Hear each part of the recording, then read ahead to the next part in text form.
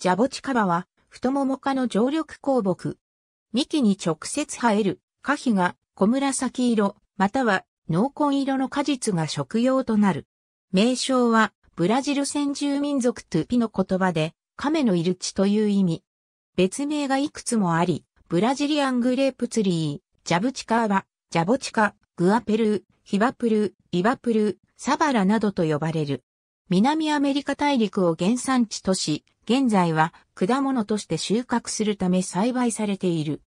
幹に直接実る果実用木器の葉はサーモン色で成長するにつれて緑色に変化していく。成長は非常に遅く湿度と弱酸性の土壌を好むが水の管理をきちんと行えばアルカリ性の強い砂浜近くにも適応する。樹高は品種によってまちまちであり、野生のものは15メートルほどになる。白色の花は幹に直接開花し、結実するのが大きな特徴で、木ブドウ属の名称由来にもなっている。果実は直径3から4センチメートルで1から4個の種子を含む。小紫色のやや厚い果皮を持ち、果肉は白色もしくはピンク色をしている。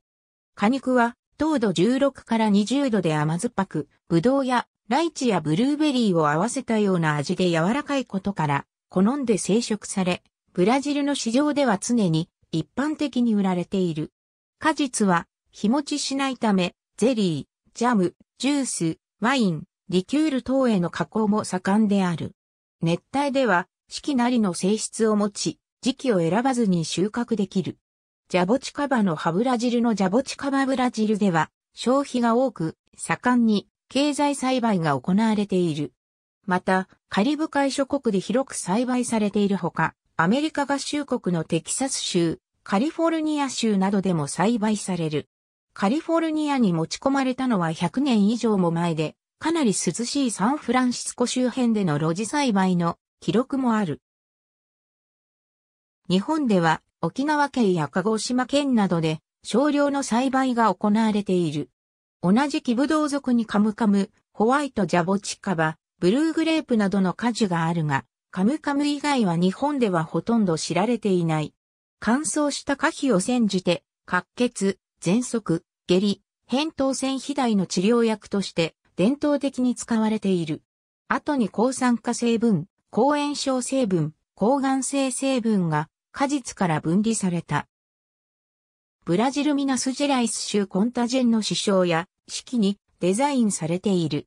植木鉢で育てやすいこともあり、熱帯地域では盆栽に広く使用され、特に台湾やカリブ海諸国で人気がある。日本では商用系と大葉系と中用系に分類され流通している。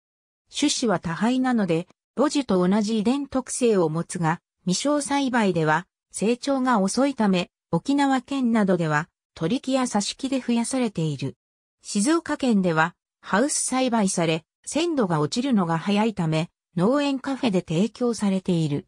農産漁村文化協会、熱帯果樹の栽培、完熟果を作る、楽しむ28種、米本君み。ありがとうございます。